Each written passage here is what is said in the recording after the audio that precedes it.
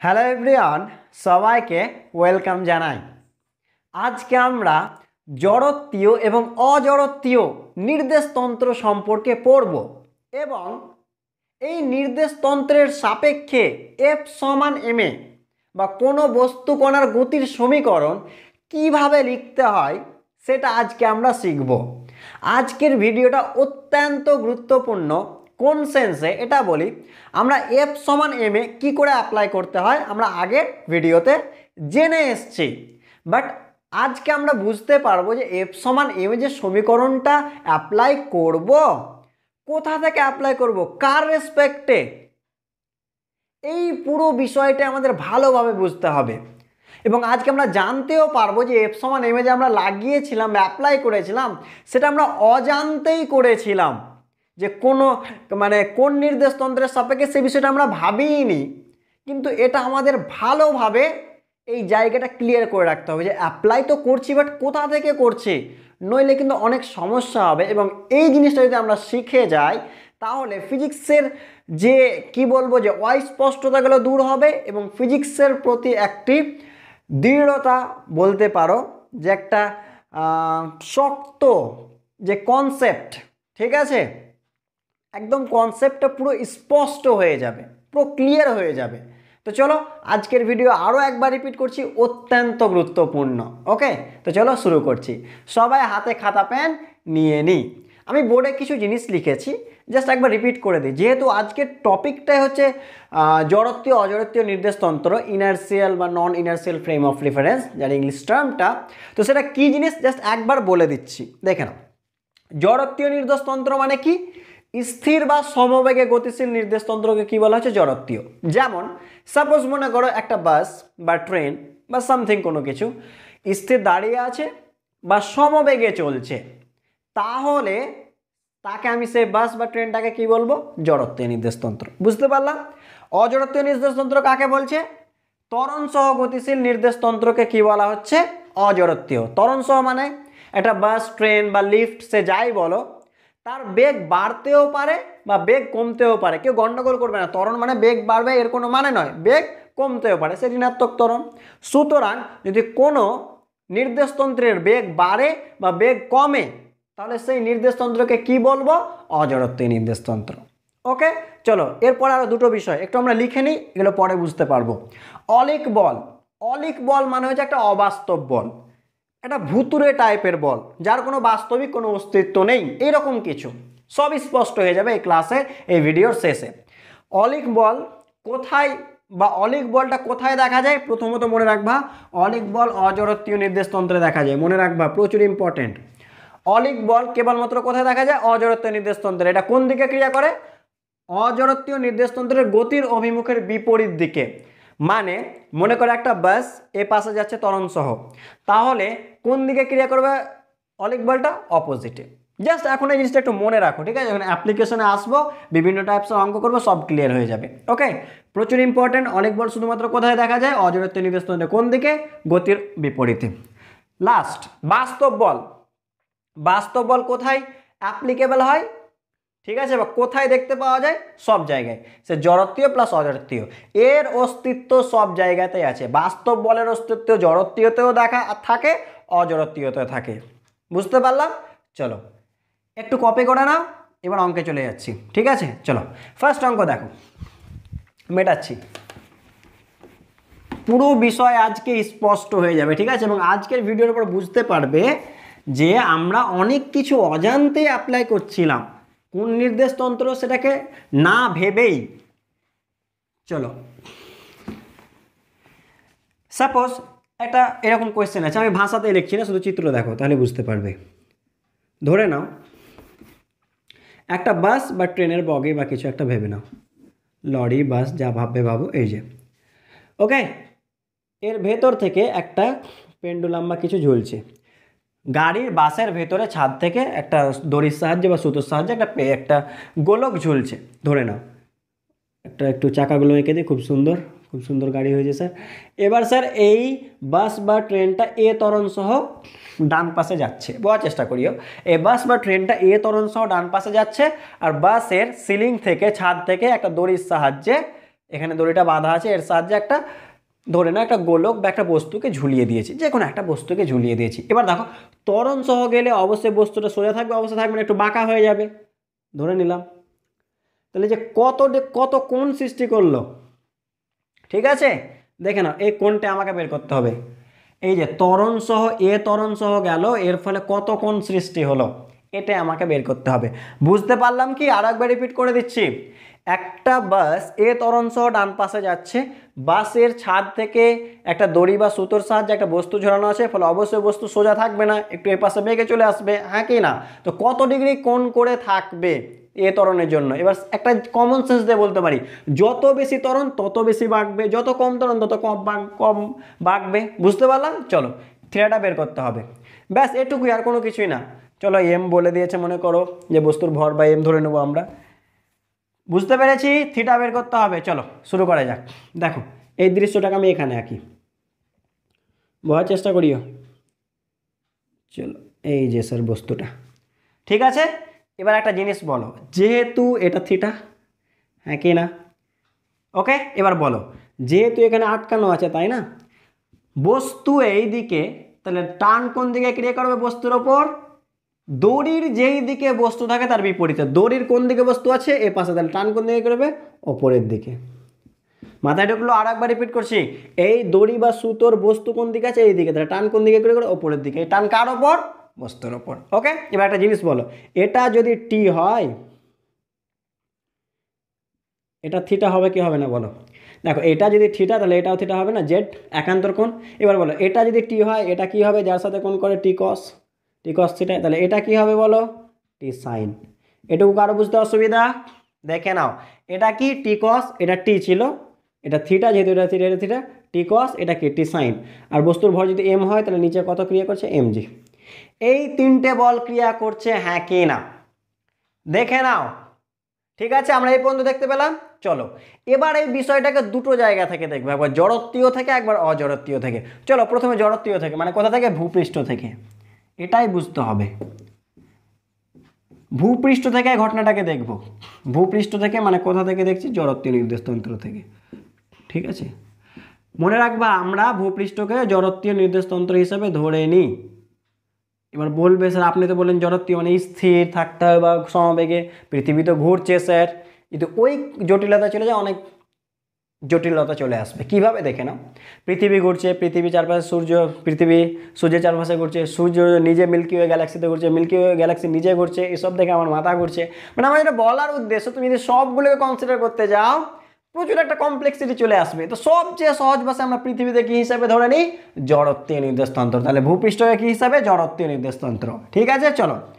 এবার একটা জিনিস বলো তো, জড়ত্বীয় নির্দেশতন্ত্র থেকে দেখছ, ভূপৃষ্ঠ থেকে মানে তুমি কোথা থেকে দেখছ? বাসের বাইরে থেকে। তুমি বাসের বাইরে থেকে এই বিষয়টাকে দেখছ। ঠিক আছে? চলো, আগে একটা আরও আরও এই বিষয়টাকে আর একটু ক্লিয়ার করছি। এখানে কটা ফোর্স আছে বলতো? এটা বস্তুটা। ঠিক আছে? এই যে, এটা এই বস্তুটা আঁকলাম। এই বস্তুটা একটা পয়েন্ট দিয়ে আঁকলাম। কটা ফোর্স আছে ভালো করে দেখো তো? টিকে ভেঙে নিয়েছি টি কস টি সাইন তাহলে কটা ফোর্স আছে? ভালো করে দেখো। ডান পাশে কি আছে? টি সাইন ওপরে কি আছে? টি কস নিচে কি আছে? এমজি বুঝতে অসুবিধা, এটা ছাড়া অন্য কোনো ফোর্স আছে? আর নেই। কোথা থেকে দেখছি? ভূপৃষ্ঠ থেকে। মানে কোথা থেকে? বাসের বাইরে আছি। নিউটনস ল লাগাবো। ইকুয়েশন লিখব। কার ইকুয়েশন লিখব? বাসের? না, কার ইকুয়েশন লিখব? এই বস্তুটার। তাহলে বাসের দিকে তাকিয়ে লাভ আছে? মোটেই লাভ নেই। কার দিকে তাকাবো? শুধু বস্তুটার দিকে। এবার আমাকে একটা বিষয় বলো। এই জায়গাটা একটু কিন্তু বুঝতে হবে। একেবারে সাবধানতার সহিত এবং মনোযোগ সহকারে বোঝার চেষ্টা করিও। আমি বাইরে থেকে দেখছি। তাহলে বাসটা স্থির থাকবে? অবশ্যই নয়। তরণ সহ গেছে মানে কি? এখানে, কিছুক্ষণ পরে এখানে, তারপরে সামনে।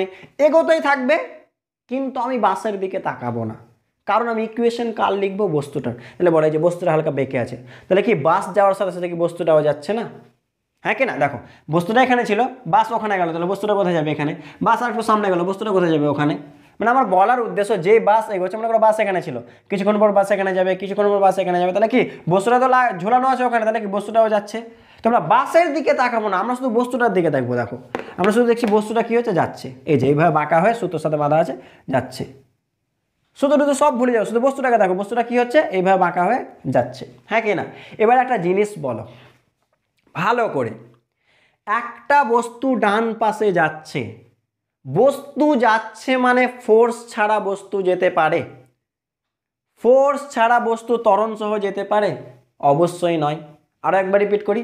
বাসটা এ ত্বরণ সহ যাচ্ছে মানে বস্তুটাও এ ত্বরণ সহ যাচ্ছে। বাসের ভেতরে যেও না, তখন ভাববে, স্যার, এই তো স্যার স্থির আছে, যাচ্ছে না। বাইরে থেকে দেখো, বাস যাচ্ছে মানে বস্তুও যাচ্ছে। হ্যাঁ কি না? এবার বাস, বস্তুটা ডান পাশে যাচ্ছে মানে অবশ্যই ডান পাশে একটা ফোর্স আছে তরণ সহ যাচ্ছে মানে। এবার ভাবো তো কোন ফোর্সটা ডান দিকে আছে? অবশ্যই টি সাইন থিটা তাহলে আমরা লিখি না এফ সমান এম এ এফ সমান এম এ লিখি তো? হ্যাঁ কি না? তাহলে এখানে এফটা কি? অবশ্যই টি সাইন থিটা মাথায় ঢুকলো? তাহলে কী লিখতে পারি বলো? টি সাইন থিটা তাহলে এফ পেয়ে গেলাম এটা তো ডান পাশে ফোর্স ক্রিয়া করছে, আর অন্য কোনো ফোর্স আছে ডান পাশে? নেই। তাহলে এটাই এফ হয়ে গেল। এম বস্তুর ভর।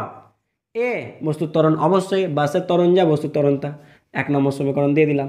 বুঝতে অসুবিধা? চলো।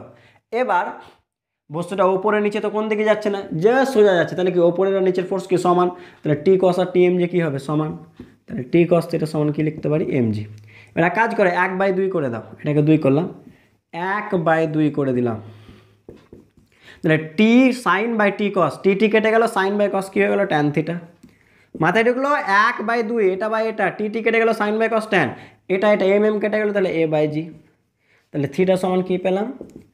Tan inverse A by G মাথায় ঢুকলো দেখে নাও, স্বাভাবিক, এর মান বা যেহেতু মান তো ফিক্স তাহলে এর মান বাড়লে কি? অবশ্যই থিটার মানও বাড়বে। ওটাই তো বলা হলো। যত বেশি তরল বাড়বে, তত বেশি থিটা বাড়বে। এই ছিল রাশিমালা। দেখে নাও, এই জিনিসটাকে এবার অজরত্বীয় থেকে দেখব। মিলিয়ে নিও। চলো এবার একে অজরত্বীয় থেকে দেখছি। ঠিক আছে? মেটাচ্ছি। দেখে নাও কপি করে নিও। দেখো, এবার অজরত্বীয় মানে কি? বাসের ভেতর থেকে, বাসের ভেতর বা গাড়ির ভেতর যাই লিখো। অজরত্বীয় কেন হলো? কারণ বাসটা কীভাবে যাচ্ছে? তরণ সহ আর তরণ সহ গতিশীল নির্দেশতন্ত্রকে কি বলা হয়? অজরত্বীয় আমি কোথায় আছি? বাসের ভেতরে অজরত্বীয় নির্দেশতন্ত্রে আছি। চলো, দেখা যাক এখান থেকে কী দেখতে পাবো। ভালো করে বলো। সাপোজ মনে করো তুমি বাসের ভেতরে আছো। তুমি এই বাসের ভেতরে এখানে দাঁড়িয়ে আছো। ভেরি গুড এবার তুমি এর দিকে তাকাচ্ছ। তুমি কি দেখতে পাবা? ভালো করে দেখো, তুমি কি দেখতে পাবা? যে একটা বল জাস্ট এইভাবে স্থির আছে। হ্যাঁ কি না? কি বলতে গেলাম বুঝতে পারলে? তুমি বাসের ভেতরে আছো। বাসের ভেতরে কি দেখতে হবে? একটা বল এইভাবে স্থির আছে। হ্যাঁ কি না? বলটাকে যদি দেখো, বলটা স্থির আছে। ঠিক আছে? এই বলগুলো কেমন বল বলো? বাস্তব বল। আরও একবার রিপিট করছি। এই যে টান এমজি অভিকর্ষ বল, এগুলো কেমন বল? বাস্তব বল। তার মানে এই বলগুলো কোথায় থাকবে? জড়ত্বীয়তেও থাকে, অজড়ত্বীয়। তাহলে এর ক্ষেত্রেও একটু মেটাচ্ছি হ্যাঁ? এই চিত্রটা একটু মেটাচ্ছি, দেখে নাও। আবার এই চিত্রটা শুধু আঁকবার, কিচ্ছু না। তাহলে তুমি বাসের ভেতরে কি দেখতে পাবে? একটা বল জাস্ট স্থির অবস্থায় বাঁকা হয়ে স্থির অবস্থায় আছে। হ্যাঁ কি না? দেখতে পাবে কি পাবে না? এবার বলো। এইগুলো ফোর্স তো ক্রিয়া করছিল বাইরে থেকে দেখলাম। জড়ত্বীয় থেকে তাহলে অজড়ত্বীয়তেও থাকবে, কারণ এগুলো বাস্তব বল, টান মনে রাখবা, টান।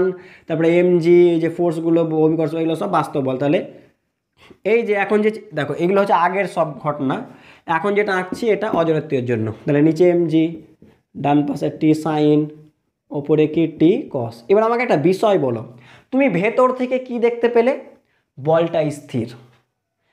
কিন্তু ডান পাশে একটা ফোর্স ক্রিয়া করছে। যদি ডান পাশে ফোর্স ক্রিয়া করে, বল স্থির থাকতে পারে, অসম্ভব থাকতেই পারে না। হ্যাঁ কি না? থাকা সম্ভব? থাকা সম্ভব নয়। আগেই বলছি, বাসের বাইরে যেও না, গন্ডগোল হয়ে যাবে, বাসের ভেতরে। স্থির। ডান পাশে ফোর্স স্থির অসম্ভব থাকতেই পারে না। একটা বস্তু কখন স্থির থাকে? যখন তার উপর টোটাল ফোর্স জিরো মানে অবশ্যই বাম পাশেও একটা ফোর্স আছে। বাম পাশেও একটা ফোর্স আছে। এটা কার সমান? টি সাইন থিটার সমান। আর এই ফোর্সটাকে কি বলা হচ্ছে? অলিক বল। এবার চলো, তোমরা একটু চার নম্বর বা তিন নম্বরে বোধহয় লিখেছিলাম। অলিক বল কোন দিকে ক্রিয়া করে? বস্তুর জড়ত, অজড়ত নির্দেশতন্ত্রের গতির অভিমুখের বিপরীতে। বাসটা কোন দিকে যাচ্ছিল? এই দিকে। দেখো অলিক বল কোন দিকে? এই দিকে। এটা কি কোনো বাস্তব বল? না! এর তো কোনো অস্তিত্বই নেই। কিন্তু যখন ভেতর থেকে দেখছি, অজড়ত্বীয় থেকে দেখছি, তখন যেহেতু বস্তুটা স্থির আর ডান পাশে ফোর্স আছে, বস্তু স্থির থাকতে পারে না, তাহলে কি করতে হবে? অবশ্যই অপোজিটেও সেম পরিমাণে একটা ফোর্স আছে। এটা আমাকে ভাবতে হলে, এটা বাস্তবে নেই। এটা আমাকে ভাবতে হলো এই ফোর্সটাই কি? অলিক বল। আর অলিক বল কোন দিকে বললাম? যেই দিকে বস্তুর গতি, তার অপোজিটে ক্রিয়া করে। আর অলিক বল সমান কি হয়ে যায়? বস্তুর ভর আর বস্তুর ত্বরণ। এম এ এবার এক কাজ করো। বস্তু স্থির, তাহলে লিখো, ডান পাশ সমান বাম পাশ, ওপর সমান নিচ। দেখো টি সাইন থিটা সমান M A T cos theta সমান এম জি সেম মানে বিষয়টা বুঝতে পারলে কি বলতে গেলাম এখানটা প্রচুর ইম্পর্টেন্ট যে বিষয়টা এবার বলব। দেখো, জড়ত্বীয়র জন্য সেম অজড়ত্বীয়র জন্য সেম কিন্তু দেখার বিষয়টা আলাদা। এটা হচ্ছে জড়ত্বীয়র জন্য, এটা হচ্ছে অজড়ত্বীয়র জন্য। বুঝতে পারলে? প্রচুর ইম্পর্টেন্ট প্রচুর জায়গায় আমাদের এই জিনিসটা সাবধান থাকতে হবে। ঠিক আছে? নইলে গোলমালিয়ে যাবে কিন্তু। এটা জড়ত্বীয় থেকে, আর এটা কোথা থেকে? অজড়ত্বীয় থেকে। জড়ত্বীয় থেকে বস্তুটা গতিশীল ছিল, এই তো টি সাইন থিটার জন্য গতিশীল আছে। অজড়ত্বীয় থেকে বস্তুটা স্থির আছে, তার মানে অবশ্যই পাশে একটা ফোর্স আছে, সমান করে দাও। দেখো আরও একবার রিপিট করছি। এই দুটো তো সব এখানেও সমান এখানেও সমান। এটাকে দেখো, এটাকে ভালো করে বোঝার ব্যাপার আছে। যখন জড়ত্বীয় নির্দেশতন্ত্র থেকে দেখছি, এই যে বাইরে থেকে, তখন টি সাইন থিটা কি হিসেবে ইউজ হচ্ছে? এম এ কি হিসাবে? যে এই ফোর্সটা ওকে ডান পাশে নিয়ে যাচ্ছে। বাট যখন অজড়ত্বীয় থেকে দেখছি টি সাইন থিটা সমান এম এ কোন কোন সেন্সে যে বস্তুটা স্থির আছে। ইকুয়েশন সেম মানে আলাদা। আরও একবার রিপিট করছি ইকুয়েশনসে মানে আলাদা। বুঝতে পারলাম? এর পরেরগুলো জাস্ট এই রকম টাইপেরই আমরা বলে দিচ্ছি। চলো, দেখে না পরেরটাই চলে যাচ্ছি। চলো, পরের চিত্রে চলে গেলাম। দেখো, এরকম একটা গাড়ি আছে, ধরে নাও ওকে এবার এই গাড়ির ডান পাশে একটা ব্লক রেখে দিয়েছি। এবার বলেছে, থাকবে না তো অবশ্যই থাকবে না। দেখো, আমি তো এখানে, আমার হাতে এখানে রাখি থাকবে স্লিপ কেটে যাবে। এবার হাতটাকে মনে করো, আমি তরণ সহ ডান পাশে নিয়ে যাচ্ছি। তাহলে কী হবে? এখানে আটকে থাকার চান্স আছে। যদি আস্তে করে নিয়ে যায়, পড়ে যাবে। যদি খুব জোরে, খুব বেশি তরণ সহ নিয়ে যায়, তাহলে চান্স কী আছে? এখানে আটকে থাকবে। তো সেটাই জিজ্ঞেস করেছে, এই গাড়িটা কত তরণ সহ গেলে এই ব্লকটা এখানে লেগে থাকবে? বুঝতে পারলাম কি বলতে গেলাম স্লিপ করে যাচ্ছে। আস্তে করে নিয়ে যায় তবু স্লিপ করে যদি জোরে করে হঠাৎ নিয়ে যায়, তাহলে কী হবে? এখানে আটকে থেকে যাবে। তো মিনিমাম কত ত্বরণ সহ চললে এই ব্লকটা পড়বে না? এই বস্তুটা এমভরের বস্তুটা স্লিপ খেয়ে পড়বে না, এখানে আটকে থাকবে। দেখো, ঘর্ষণ চ্যাপ্টার বোধহয় এখনও হয়নি তবু মনে রাখবা এখানে এই মিউটা হচ্ছে ঘর্ষণ গুণাঙ্ক। কার কার মধ্যে? এই তল আর এই বস্তুর তলের মধ্যে। ঠিক আছে? চলো, অসুবিধা নেই, আমি ঘর্ষণ গুণাঙ্কের ব্যাপারটা বলে দেবো, যদি ঘর্ষণ না পড়ে থাকো। দেখা যাক কী কী ফোর্স ক্রিয়া করছে। চলো, এটা হচ্ছে বস্তু। চলো বস্তুটা একটা বিন্দু দিয়ে আঁকলাম হ্যাঁ? বুঝে নিও। এটা বস্তু নিচে কী ক্রিয়া করছে? এমজি ওকে ওপরে কী ক্রিয়া করছে? ভালো করে ভাবো তো, ঘর্ষণ বল। ওপরে কী ক্রিয়া করছে? ঘর্ষণ বল। মনে রাখবে। ওপরে কী ক্রিয়া করছে? ঘর্ষণ বল। কারণ দেখো, এই দেখো, নিচে পড়তে চাইলে ঘর্ষণ বলটা কোন দিকে? ওপরের দিকে। হ্যাঁ কি না? নিচে পড়তে যাচ্ছে ঘর্ষণ বল কোন দিকে? ওপরের দিকে। বুঝতে পারলাম? দেখো, এবার একটা জিনিস বলো। যেই বস্তুটা এ পাশে যাবে, এই বস্তুটা একে একটা ক্রিয়া করবে। এই যে এই যে গাড়ির সামনের অংশটা আছে, বস্তুটা যে, দেখো, যে এ পাশে যাবে, তাহলে ব্লকটা কি এই গাড়ির এই সামনের অংশটাকে কী করবে? একটা ক্রিয়া দিবে, বলে এই গাড়ির সামনের অংশটাকে কী দেবে? প্রতিক্রিয়া দেবে। দেখো, যেই এগোবে, এ একে ক্রিয়া দিবে, এ ওকে কি প্রতিক্রিয়া দেবে? হ্যাঁ কি না? এটা লম্ব বল ক্রিয়া করবে, এটাকে এন লিখলাম। মাথায় ঢুকলো, কী বলতে চাইলাম? গেলে এ একে ক্রিয়া করল, এ ওকে কী করবে? প্রতিক্রিয়া দেবে, তাহলে এন। তাহলে এই তিনটা হচ্ছে ফোর্স এবার বলো, কোথা থেকে দেখছি? ভূপৃষ্ঠ থেকে মানে জড়ত্বীয় থেকে দেখছি। এবার আমি কি দেখছি? জড়ত্বীয় মানে কোথা থেকে? বাইরে থেকে। ভূপৃষ্ঠ থেকে আমি কি দেখছি? একটা গাড়ি ডান পাশে যাচ্ছে। গাড়িকে দেখব? না, কারণ কার ইকুয়েশন লিখব? এম শুধু ব্লকটাকে দেখো। তাহলে আমি কি দেখব? একটা ব্লক ডান পাশে যাচ্ছে। তো একটা ব্লক ডান পাশে যাচ্ছে, তার মানে কি? অবশ্যই ডান পাশে একটা ফোর্স ক্রিয়া করছে। কোন ফোর্স এখানে এন তাহলে এন সমান কি লিখে দিতে পারি? এম এ মাথায় ঢুকলো, কি বলতে চাইলাম? একটা বস্তু ডান পাশে আছে মানে অবশ্যই একটা ফোর্স তো থাকতে হবে। ডান পাশে মানে তরণ সহজ যাচ্ছে। তো কত? এটাই তাহলে দায়ী হচ্ছে ডান পাশের জন্য এফ সমান এম তাহলে এটাই এফ তাহলে এন সমান এম এ দুই নম্বর চলো, ওপরে বা নিচে যাচ্ছে না, তাহলে এফ সমান কি লিখতে পারি? এম জি এবার ঘর্ষণ চ্যাপ্টারে এটা একটা সূত্র জাস্ট মনে রেখে দেবে মিউ সমান হয় এফ বাই এন ঠিক আছে মনে রাখবা। মিউ সমান হয় এফ বাই এন চলো এফ এর মান বসাও এন এর মান বসাও। এফ এর মান কি? এম জি এন এর মান বসাও এম এ এম এম কেটে গেল। জি বাই এ তাহলে এ সমান কি হলো বলো? জি বাই মিউ এটা হচ্ছে উত্তর। এত তরণ সহ গেলে বস্তুটা কি পড়বে না, আটকে থাকবে। ঠিক আছে? এই জিনিসটাকে চলো অজরত্বিক থেকে দেখব। অজরত্ব মানে কি? গাড়ির ওপর থেকেই। মানে এবার আপনি স্যার গাড়ি থেকে দেখছেন, এই যে। এই শুয়ে পড়েছেন? ভেরি গুড শুয়ে পড়েছেন, এবার তাকাচ্ছেন নিচের দিকে। নিচের দিকে তাকাচ্ছেন, দেখছেন ব্লকটাকে এইভাবে। ঠিক আছে? তো তুমি কি দেখতে পাবো ব্লকটা স্থির আছে? হ্যাঁ কি না? অজরত্বীয় থেকে দেখছ। গাড়ি থেকে দেখছ, কারণ গাড়ি তরণ সহ এ পাশে যাচ্ছে। তাহলে তুমি কি দেখতে পাবা? ব্লকটা স্থির আছে। স্থির থাকা কখন সম্ভব? যদি তার উপর টোটাল ফোর্স কি হয়? জিরো তার মানে আবার অজরিত্বের জন্য চিত্র এঁকে দিই সেম টু সেম আগেরটা যা বোঝানো হলো, তার জন্য এটা অত সময় নিয়ে বোঝানো হলো। এখানে নতুন করে বোঝানোর কোনো কিছু নেই। এই বস্তুটা স্থির। আমি উপর থেকে দেখলাম বস্তুটা স্থির অবস্থায় আছে। কি করে সম্ভব? যদি টোটাল ফোর্স জিরো হয় এই পাশে তো ফোর্স আছে তার মানে অবশ্যই এই পাশে একটা সেম ফোর্স আছে। এই ফোর্সটাই কি? অলিক বল। অলিক বল মানে কি? এম এ যেদিকে বস্তু, যেদিকে জড়ত্ব নির্দেশ তন্ত্র তার অপোজিট অলিক বল, তার অপোজিট এম এ তাহলে লিখতে তাহলে কি লিখতে পারি? যেহেতু স্থির, এটা সমান এটা এটা সমান এটা, দেখো। এন সমান এম এ এফ সমান এম জি ইকুয়েশন চেঞ্জ হবে না, দেখার দৃষ্টিভঙ্গি চেঞ্জ এখানে এন সমান এম এ কেন জড়ত্বীয়তে? বস্তুটা যাচ্ছে বলে। অজড়ত্বীয়তে এন সমান এম এ কেন? বস্তুটা স্থির বলে। শুধু এই পার্থক্যটা বুঝতে হবে। চলো, পরের অঙ্কে চলে যাচ্ছি। করে নাও। চলো, পরের অঙ্কটা দেখো কি বলছে? সে একই একটা গাড়ি ভাবো বাস ভাবো, যাই ভাবো, এর ওপরে এম ভরের একটা ব্লক রাখা আছে, আর এর আর এদের মধ্যে ঘর্ষণ গুণাঙ্ক মিউ বলে দিয়েছে মানে ঘর্ষণ আছে এক কথায়। আর এর পাশে কি? এ ত্বরণ সহ যাচ্ছে। এবার এ ত্বরণ সহ যাওয়ার ফলে এই বস্তুটা স্থির অবস্থায় আছে। মানে এই নয়, একটা জিনিস বোঝার চেষ্টা করো। মনে করো এখানে একটা আছে, এখানে একটা। মানে হাতটাকে যদি আস্তে করে নিয়ে যায়, তাহলে ওপর দিকে যাবে। হঠাৎ করে যদি হাতটাকে দূরে নিয়ে যায়, তাহলে কি? এটা স্লিপ খেয়ে পড়ে যাবে। হ্যাঁ কি না? বুঝতে পারলাম কি বলতে চাইছি? এটা যদি আস্তে আস্তে গাড়িটা যায় তাহলে পড়বে না যদি প্রচুর স্পিডে যায় তাহলে স্লিপ খেয়ে পাশে পড়ে যাবে। তো বস্তুটা স্লিপ খাচ্ছে না, স্থির অবস্থায় যাচ্ছে, তাহলে ঘর্ষণ গুণাঙ্কটা কত? মিউ সমান কত বের করতে হবে? তো চলো শুরু করা যাক। কি কি ফোর্স ক্রিয়া করছে দেখা যাক, চলো দেখে নাও। ঘর্ষণ বল কোন দিকে ক্রিয়া করবে? আমাকে একটা জিনিস বলো, যদি ঘর্ষণ না থাকতো, একেবারে মসৃণ, মনে করে ওপর, ওপরটা মসৃণ, তাহলে একটা বস্তুকে রেখে দিই, তাহলে গাড়িটা চলতে থাকলে কি হবে? বস্তুটা ওখানে থাকবে, গাড়িটা চলে যাবে, বস্তুটা পড়ে যাবে। হ্যাঁ কি না? দেখো, মনে করো আমার হাতটা প্রচুর মসৃণ, একটা বস্তু রাখা আছে, এবার হাতটাকে আমি যদি নিয়ে যাই, তাহলে যদি আমার হাতটা প্রচুর মসৃণ, তাহলে কী হবে? হাতটা চলে যাবে, কিন্তু বস্তুটা কী হবে? এখানে পড়ে যাবে। গাড়িটা চলে যাবে, কিন্তু বস্তুটা কী হবে? পড়ে যাবে, যদি মসৃণ হয়, তার মানে অমসৃণ। এবার কি? তাহলে কি? ঘর্ষণ বলটাই ডান পাশে ওকে নিয়ে যাচ্ছে। তার মানে ঘর্ষণ এদের আর ব্লক আর এই গাড়ির মধ্যে যে ঘর্ষণ বল, এই গাড়ির ছাদ আর ব্লকের মধ্যে যে ঘর্ষণ বল, এটাই বস্তুটাকে ডান পাশে নিয়ে যাচ্ছে। তার কারণটা বললাম, কারণ ঘর্ষণ না থাকলে পড়ে যেত। তাহলে কোন দিকে ঘর্ষণ বল? এই দিকে ঘর্ষণ বল। নিচে কি ক্রিয়া করছে? এমজি আর ওপরে কি ক্রিয়া হচ্ছে? লম্ব বল। হ্যাঁ কি না? এমজি ক্রিয়া করল, তাহলে গাড়ির ছাদ ওকে কী দিবে? ওপরে এন দেবে না? এন লিখলাম। ওকে? তাহলে এটা হয়ে গেল কোথা থেকে দেখছি? জড়ত্বীয় মানে ভূপৃষ্ঠ থেকে। ভূপৃষ্ঠ থেকে কী দেখব? গাড়িটা যাচ্ছে। গাড়িটাকে দেখব? না, কাকে দেখব? শুধু ব্লককে তাহলে কি? ব্লকটাও যাচ্ছে। অনেক ভাবছে, স্যার ব্লক তো যাচ্ছে না, স্থির আছে। কেন আবার ওর ওপরে যাচ্ছ? বাইরে থেকে দেখো। গাড়ি থেকে নিচে নেমে এসো। বাইরে থেকে দেখো। গাড়িটা গাড়িটা এখানে আছে। কিছুক্ষণ পর ওখানে যাবে। কিছুক্ষণ পর আরও দূরে যাবে। তার মানে কি? ব্লকটা এখানে আছে। কিছুক্ষণ পরে এখানে যাবে। কিছুক্ষণ পরে এখানে। তো ব্লকটাকে শুধু তাকাও। ব্লকটা ডান পাশে যাচ্ছে। তার মানে ডান পাশে কি ফোর্স এফ তাহলে এফ সমান এম এ এফ সমান এম এ ঠিক আছে? এন সমান কি? এম জি মিউ সমান কী হয় বলো? এক্ষুনি বললাম সূত্র এটা। এই ঘর্ষণ চ্যাপ্টারে F by N F by N চলো এফ এর মান কত? এম এ এর মান কত? এম জি অর্থাৎ মিউ সমান কী হলো তাহলে? এ বাই জি ঠিক আছে, বুঝতে অসুবিধা? মিলিয়ে নিও। চলো অজরের তুই থেকে দেখছি। মানে কোথা থেকে? গাড়ির ওপর থেকে। চলো, আপনি এখানে দাঁড়িয়ে আছেন, আপনি দেখছেন কি ঘটছে। গাড়ির ওপরে দাঁড়িয়েছেন। এবার তুমি দাঁড়িয়ে দেখছ, এই তো ব্লকটা তো স্থির আছে। তো স্থির থাকা কখন সম্ভব? তাহলে চিত্রটা কি হবে অজরত্বীয়র এখানে আমি করে দিলাম। অজরত্বীয় চিত্র কি হবে? বস্তু স্থির থাকা সম্ভব, ডান পাশে ফোর্স থাকলে কখনোই নয়। স্থির আছে মানে কি? এই পাশে একটা সেম ফোর্স আছে টোটাল ফোর্স জিরো হতে হবে। এই ফোর্সটাকে কি বলা হয়? অলিক বল। বুঝতে পারলাম অলিক কেন বলছি?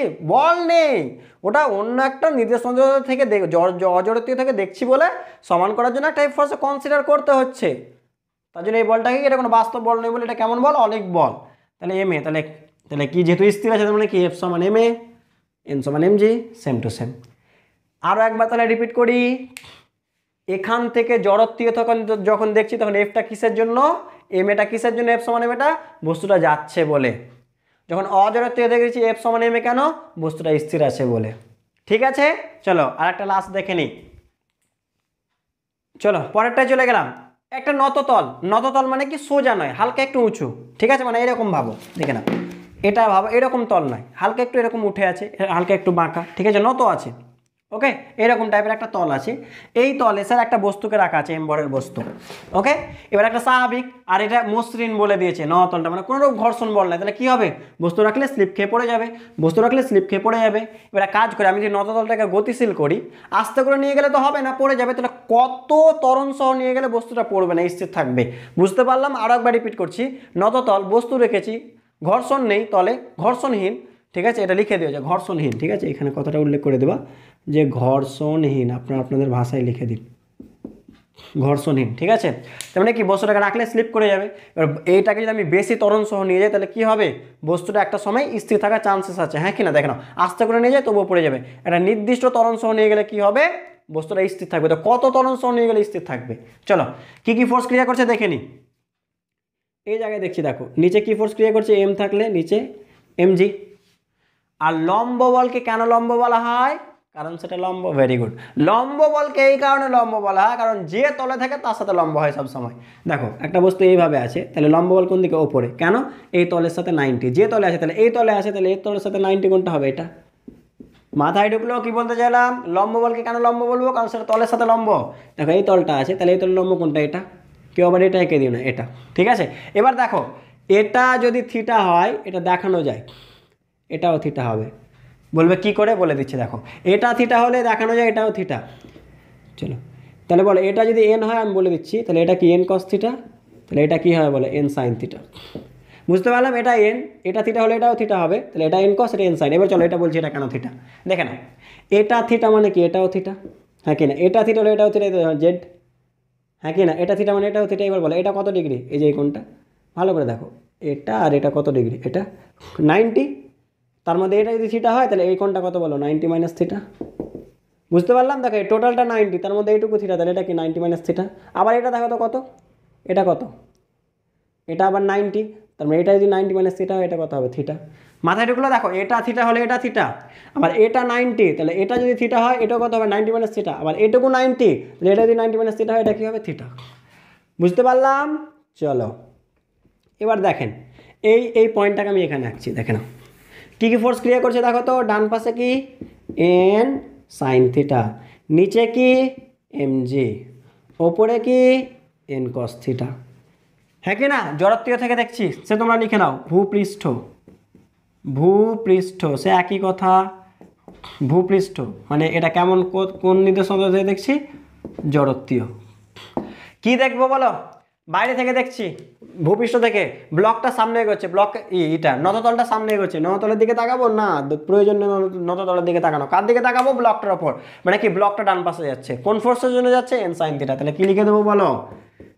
এন সাইন থিটা সমান এম এ বুঝতে পারলাম? ঠিক আছে? চলো। এবার বলো এন কস থিটা মানে কি হবে? এমজি হ্যাঁ কি না? কি বের করতে হবে? এ তাহলে এক কাজ করে, এক বাই দুই করে দাও। এক বাই দুই করে দিলাম, এক বাই দুই। দেখো, এক বাই দুই করছে, এন এন কেটে গেল সাইন বাই কস কী হয়ে গেল? ট্যান ঠিক আছে? এম এম কেটে গেল, এ বাই জি। তাহলে এ সমান কী হলো বলো? জি ট্যান থিটা এটা হবে উত্তর। মাথায় ঢুকলো? চলো, বিষয়টাকে এবার অজরাতীয় থেকে দেখে নিই বলো অজরাতীয় মানে কি? ব্লক থেকে দেখছে, এই যে এই যে নততল থেকে দেখছি। মনে করেন আপনি এখানে দাঁড়িয়ে আছেন, আপনি দেখছেন। নততল থেকে দেখছি, নততল থেকে দেখছি। এটা কি? অজরাতীয় কেন অজরাতীয় বুঝতে পারলাম তো? যেহেতু ওটা তরণ সহ যাচ্ছে, আর ওখানে আমি আছি। অজরাতীয় নির্দেশতন্ত্র থেকে দেখছি। কী হবে বলো? আমি কি দেখতে পাবো? ব্লকটা তো স্থির আছে। দেখছি ব্লকটা কি আছে? স্থির আছে। হ্যাঁ কি না? তাহলে স্থির কখন থাকা সম্ভব? যদি এই পাশের ফোর্স থাকলে তো স্থির কখনো থাকবে না। এই পাশে অবশ্যই একটা ফোর্স আছে। এটাকে কি বলছি? অনেক বল। এটা একবার এঁকে দিয়ে অজরাতীয় তো ঠিক আছে? তাহলে এটা কি হয়ে গেল? এম এ এবার বলো, একটা বস্তু স্থির থাকে কখন? যদি সব টোটাল ফোর্স জিরো হয়, ডান পাশ, বাম পাশ, ওপর, নিচ, তাহলে এন সাইন থিটা সমান কি এম এ? এন কস্টেটা মানে কি এম জি সে আবার একই কথা আমি রিপিট করব, যে জড়ত্বীয়র সময় এন সাইন থিটা সমান এম এ কেন করেছিলাম? ডান পাশে যাচ্ছিল বলে। তোমরা কাজ করিও, দুটো করে চিত্র আঁকিও তাদের জন্য জিনিসটা, যদিও একই জিনিস, কিন্তু যেন মাথায় ক্লিয়ার হয়ে থাকে। এন সাইন থিটা এটা এটা এন কস থিটা এটা এম জি আর এটা হয়ে গেল এম এ এটা জড়ত্বীয়, এটা অজড়ত্বীয়। দেখো জড়ত্বীয়টা কি? এন সাইন থিটা কী করছে? নিয়ে যাচ্ছে। আর অজড়ত্বীয়টা কি? এন সাইন থিটা সমান এম এ স্থির আছে বলে। বুঝতে পারলাম? পজ করে লিখে নাও। তো আজকে আমরা এই পর্যন্ত রাখছি। ওকে আমরা সবাই সুস্থ থাকি, ভালো থাকি এবং পড়াশুনো করতে থাকি। Thank you so much